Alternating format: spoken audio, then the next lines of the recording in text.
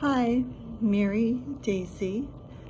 Um, last time we talked, I think it was about signing the papers for DNR and talking about dying going forward. But I have other news to share. Um, I don't know if you can tell, but I'm in the hospital again.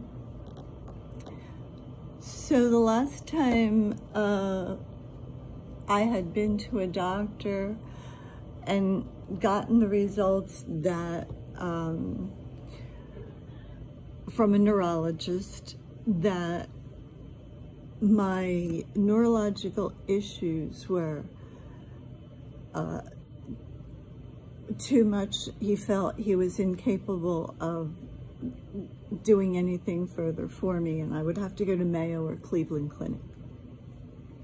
And that just isn't feasible. Um, we don't have the funds for the gas alone. Uh, we're in bankruptcy now. Um, you may remember we bought a farm in 2014 to start a rescue for abused, handicapped, and senior dogs called Petit Treasure Rescue and Sanctuary and the intent had always been to hold weddings there to fund the shelter, but the county told us we needed a variance after the owners told us we didn't, and the neighbors voted it down, so we were scrambling for the last six years to make ends meet. And this week, the well pump broke for the house. And we're talking about a house that has two seniors living in it with 20 hospice dogs and an Airbnb that we run. So needless to say, we needed water to come into the house. And my husband has uh, a home warranty he keeps up with Home Warranty of America, who he called immediately and explained the situation and said it was an emergency. And we have repair or replace. And 24 hours later, even though they said they put it in as an emergency, nobody had called or come out.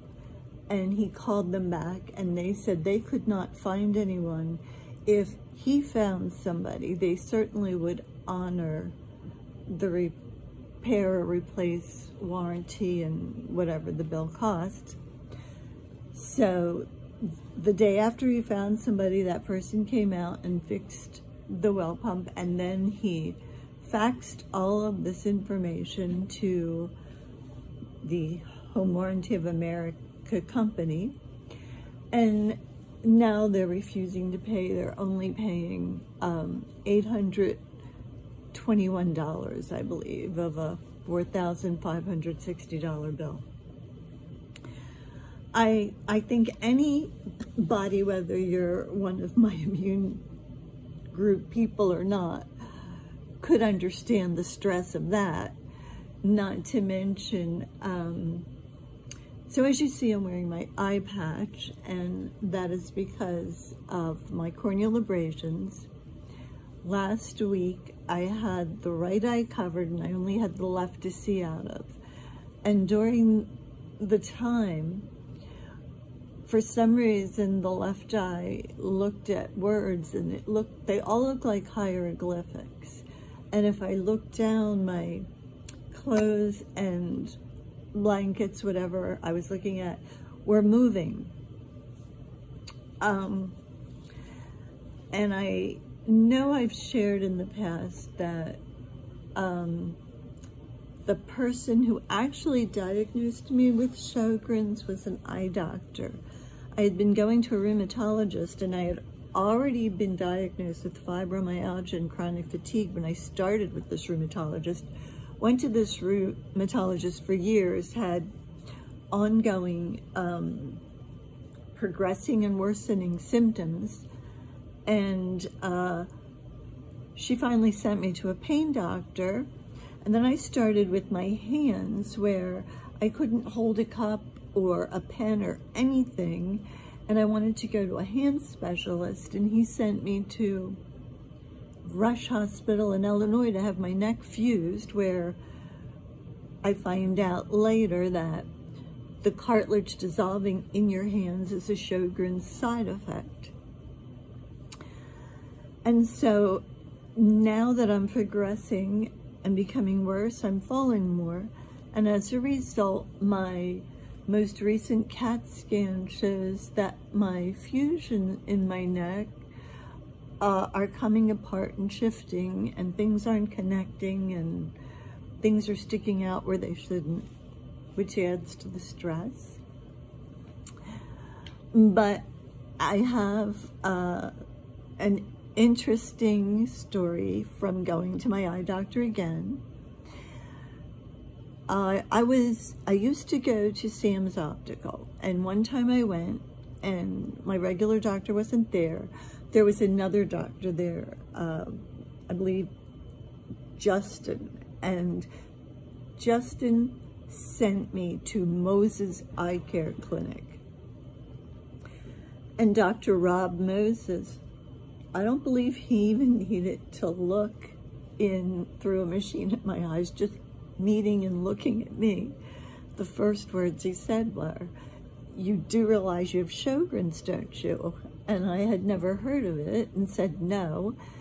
And then as my best friend was driving me home from the doctor's appointment, I'm reading everything about Sjogren's and I had every possible symptom, including having broke every tooth in my mouth over the last 10 years. So when I went uh, to my eye doctor this week, and since uh, I went to Dr. Moses' office, Justin's in that practice, and now I see Dr. Nicole Albright, who's been an absolute treasure. She's just wonderful and I explained everything that was going on with the neurological diagnoses and my not being able to go to Cleveland or Mayo.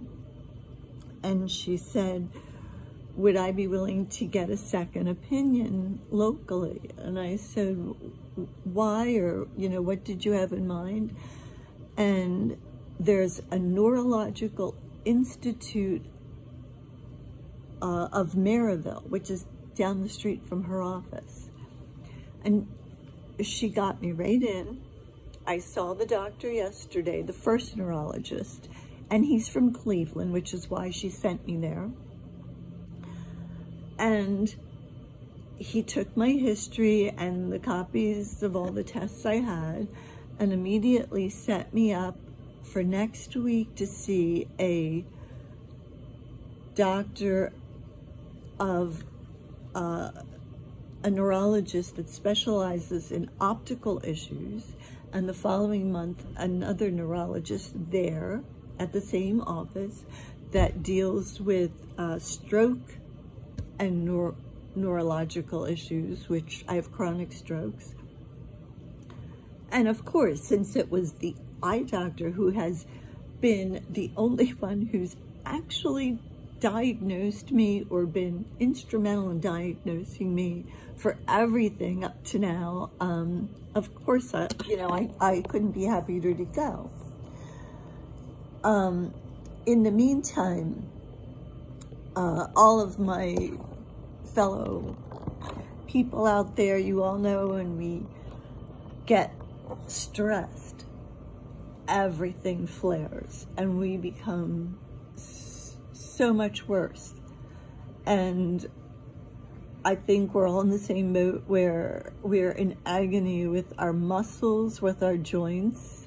And I have the added hypermobility where it's kind of pulled my ligaments down the right side and they won't go back. And um, so I'm in agony. And when I went to the neurologist yesterday, he I asked him if he could do something for the pain I was in, and he gave me a shot in the trigger point where my most painful issues are. And because the muscle was like granite, he had to force the needle a bit. And yesterday evening, I was in the ER with a collapsed lung, and today, and I've been in the hospital ever since with a uh, pneumothorax, and don't know when I'm getting out of this one, but just thought I'd keep you up to date. And um, remind you to share with your friends, um, check out Mary's support group, Mary's autoimmune support group on Facebook, which now we have meetings at our home and we'll work around your schedule and get a, people to come and share their stories and build a, a local support network for sharing and caring. And um, Mary's autoimmune page, um, where I continue my vlog, and my um, website for the shelter under Petite Tresor, which is T-R-E-S-O-R-S, rescue.com. Hope to see you soon. Bye-bye.